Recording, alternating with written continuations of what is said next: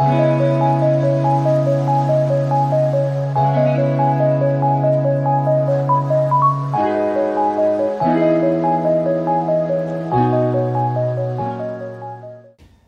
friends, welcome to our channel Let's Learn with Edu Funda.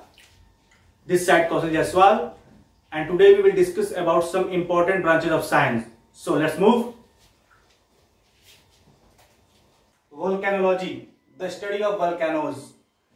Volcanology में हम ज्वालामुखी का अध्ययन करते हैं कि इसकी उत्पत्ति कैसी होती है, इसके आने का कारण क्या होता है what is the reason behind it is called volcanology second one है हमारा geology the study of earth इसमें हम पृथ्वी का अध्ययन करते हैं। पृथ्वी घूमती कैसी है, ये कैसे बनी है, इसका अध्ययन जियोलॉजी कहलाता है। थर्ड वन है हमारा hydrology the study of water hydrology में हम पानी का अध्ययन करते हैं। जैसा कि आपको दिख रहा होगा हाइड्रो और दोस्तों, जिस वर्ड के स्टार्टिंग में हाइड्रो शब्द ऐड हो जाए तो आप समझ जाइएगा कि वो शब्द जल से ही रिलेटेड होगा। तो आप समझ ही गए होंगे हाइड्रोलॉजी के अंतर्गत the study of water next one है हमारा nephology the study of clouds बादलों का अध्ययन। बादलों का अध्ययन ही नेफोलॉजी कहलाता है। आप समझ सोच रहे होंगे, बादलों में कौन सा अध्ययन होता है? तो दोस्तों, मैं आपको बता दूँ, बादल केवल एक ही प्रकार के नहीं होते।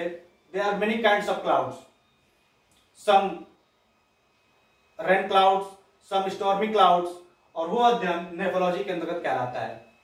नेक्स्ट वन है हमारा pomology the study of fruit जैसा कि स्क्रीन पर फ्लैश हो रहा होगा, काफ़ी सारे फ्रूट्स दिखाई दे रहे होंगे। तो मुँह में पानी ना आए आप लोगों के। ये अध्ययन क्या कहलाता है? पोमोलॉजी कहलाता है। और यूएस से चाइना ये फलों के सबसे ज़्यादा मात्रा में प्रोड्यूसर हैं। नेक्स्ट है हमारा seismology the study of earthquakes आपने सिस्मोग्राफ का नाम सुना होगा। इस सिस्मोग्राफ इसी सिस्मोलॉजी से बना हुआ है।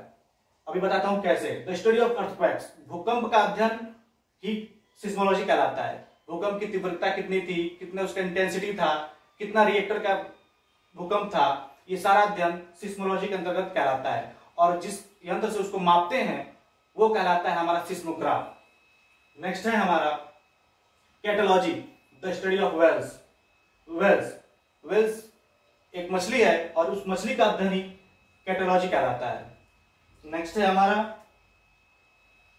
ornithology the study of birds पक्षियों का अध्ययन ऑर्निथोलॉजी के अंतर्गत किया जाता है। और आपको पता ही होगा कि इंडियन ऑर्थोनोलॉजिस्ट सलीम अली साहब हैं और उनके नाम पे एक नेशनल पार्क भी है। और वो पार्क कहाँ है, ये आपको आपको कमेंट में बताना पड़ेगा। नेक्स्ट है हमारा ophiology the study of snakes सांप की प्रजातियों के बारे में, उनके ब्रीड्स के बारे में अध्ययन ही ऑफिलॉजी कहलाता है। अगला है हमारा petrology the study of rocks चट्टानों का अध्ययन पेट्रोलॉजी कहलाता है। और अब जैसे कि इग्नियस रॉक सेडिमेंट्री रॉक्स ये सारे अध्ययन पेट्रोलॉजी के अंतर्गत आते हैं।